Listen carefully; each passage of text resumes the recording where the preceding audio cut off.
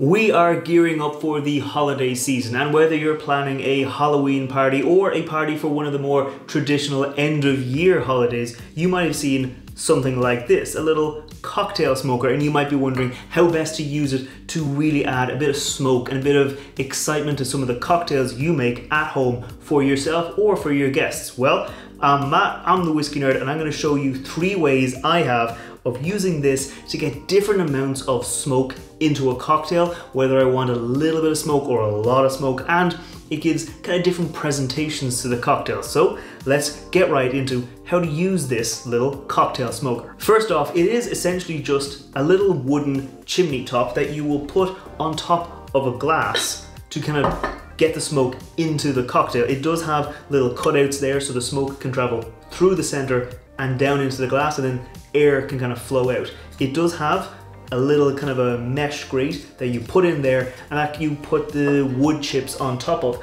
My one came with a lot of spare ones so it does kind of last for a long time and my one came with four different tins of wood chips and I've tried them all the whiskey oak the cherry the apple and they all kind of taste roughly the same you do notice a little bit of difference like the ex whiskey barrels those whiskey oak ones they're a bit maybe deeper and darker. The cherry and apple maybe a little sweeter, but by and large, you're still gonna get a lot of smoke into your cocktail. But when you're using this, you're not really gonna be using just this. You also have to light those little wood chips on fire. And for me, I found something like this. A little cook's blowtorch is invaluable because if you try and use a standard like lighter where you push it and you hold it down, that flame is gonna come back up at you. But if you use something like this, that flame comes out straight. Whether it's like a jet lighter or one of those smaller little kind of gun looking ones, something like this, very handy, makes it a little easier to use and obviously makes it a little safer because you don't want to be burning yourself and adding that kind of smoke. You want to be adding the smoke from the wood chips. So I'm going to give you a little demonstration of how this little chimney works. There's a few other types on the market, some very fancy looking ones, but I like this. It's simple, it's easy. You can just bring it with you in your pocket if you're going to another party, or you can just kind of break it out. You don't need a whole I'll put some pictures of some really fancy ones up there, but they have this whole system. You don't need that. You just need a little chimney and a little lighter. So you put in a little pinch of kind of those wood chips. You don't need a huge amount of the wood because if you add in too much wood, it'll kind of block the smoke from going down into the glass and it'll instead just go up. So turn on your blowtorch and just kind of light it like this. And as you'll see, that smoke is gonna sit down into the glass, just like that. You let it kind of sit for a couple of seconds, it fills up the glass.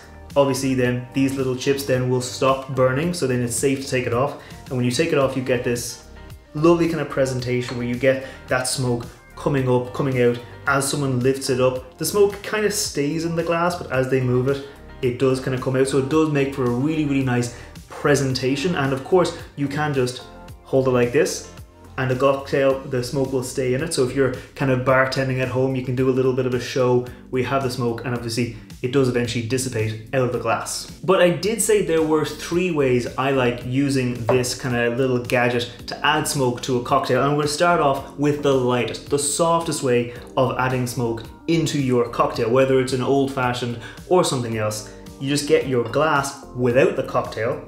And again, you add a little pinch of your little wood chips into there turn on your blowtorch, blowtorch it up, get a nice good flame going and that way you get the smoke into there and you just kind of let this sit for a couple of seconds. You don't have to leave it for a very long amount of time. You just need to get that smoke onto the glass because what we're doing here is we're smoking the glass, not the cocktail. So we're gonna let that sit in, let that smoke, the little bits of smoke particles kind of stick to the outside of the glass, take it off like that, and then when we pour in our cocktail, this is just plain old water. It kind of displaces that, but you do get still kind of a nice presentation. You get a little bit of that smoke, not as much smoke, but it's much more subtle when you're using that smoke because it's not on the cocktail. It's only a smaller amount of smoke.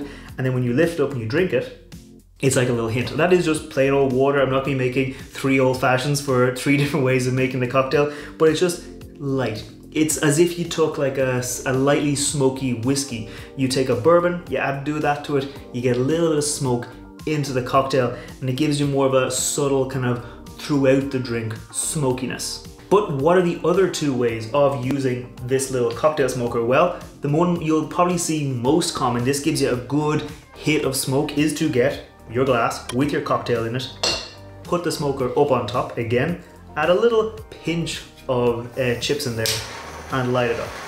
Once you get it lit, that smoke will just kind of fade down and it'll sit and as you see, it will start settling onto the top layer of the cocktail. Again, that's just plain old water, but it will settle into that cocktail and you're gonna get the smoke kind of sitting rather than it being like kind of floating in the glass and little bits of it sticking to the side of the glass. Much more of it is gonna stick to the cocktail itself. So It's gonna stick on top of the cocktail and give you this kind of smoky layer up top and obviously some of it is going to stick to the side of the glass. You're still gonna get a little bit of a subtle smoke addition with a big bang smoke on the top layer of your cocktail. When you take it off, you still get that nice kind of presentation, but when you take it up and you drink it, it's much more smoky. The top layer has this kind of heavyweight smoke. The bottom of the cocktail, if you're making something like an old fashioned, it won't be overpowering. It won't be super strong, but that initial hit is gonna get you a lot of smoke right up front. And sometimes that can be a bit off-putting. If you want more of a subtle flavor, go for the first kind. If you want something a bit more in your face, a bit more punchy, definitely having that smoke up on top of the cocktail definitely gives you much more weight into it. But what about the last kind of way to use it? The way to get the most smoke into your cocktail? Well, that is actually going to be a little different because we're going to be using a shaker tin. This isn't a way you'll see used a lot, but it will give you a huge amount of smoke into your cocktail. Really let it penetrate into your cocktail. If you want to see, I have a smoked whiskey sour where I use this technique. I'll put a link to that up there or a link down below where I have a smoked whiskey sour where I really got the smoke through the cocktail, through the foam, and it really came out very, very well. So for this technique, you get your shaker tin and you build your cocktail as per normal. You put in your ingredients into that cocktail shaker and then you put your little wood chimney up on top. You get it up there and what we're gonna do is we're gonna smoke the cocktail shaker itself and then we're gonna shake the cocktail. So again, just get that in there. And for this one, you do want to be a little careful that you capture as much smoke as possible because when you lift this off, you're to make a little breeze. It's to maybe lift a bit of the smoke out. So we get our big tin and we capture as much of that smoke as possible into there. And then we shake it. You get all that smoke up into the cocktail and then you get a little bit that comes out at the end, but most of it is into the water. It is actually in the cocktail itself. So I'm gonna give this a little sip. And that is way, that is way more intense. It has all those kind of smoky notes you'd expect from a smoked cocktail.